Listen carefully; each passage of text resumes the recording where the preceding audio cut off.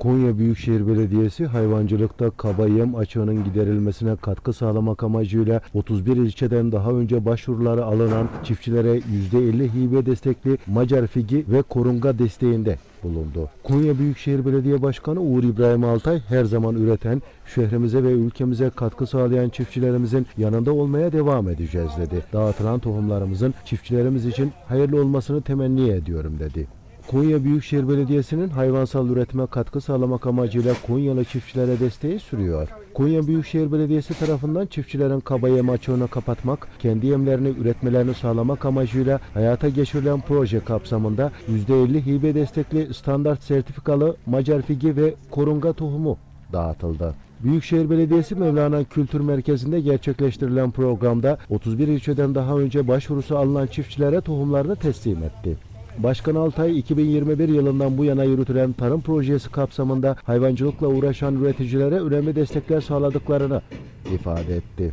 Kırsalda yaşayan üreticilerin gelirini ve refah seviyesini artırmak Konya modeli belediyeciliğin en önemli parçası haline getirdiklerini vurgulayan Altay şöyle devam etti. Bu bağlamda projemizin başlangıcından bugüne kadar 240 tonu bu yıl olmak üzere 27 milyon lira değerinde toplamda 1000 ton Macar figi ve korunga tohumu desteğinde bulunduk. Bu sayede 1154 mahallemizde 5000 çiftçimizin destekten faydalanmasını sağladık. Verimli hayvancılık ve hayvansal üretimde girdi maliyetlerinin azaltılmasına yardımcı olmak amacıyla yaptığımız bu desteklemelerle üreticimize ve milli ekonomimize katma değer sağlamaya devam ediyoruz. Her zaman üreten, şehrimize ve ülkemize katkı sağlayan çiftçilerimizin yanında olmaya devam edeceğiz. Dağıtılan tohumlarımızın çiftçilerimiz için hayırlı olmasını temenni ediyorum dedi. Tohum desteğinden faydalanan çiftçiler de Başkan Altay'a teşekkür ederek desteğin devam etmesini istediklerini ifade etti. Tohumların kalitesinden ve destekten çok memnun kaldıklarını belirten çiftçiler projenin çiftçilere bir can suyu olduğunu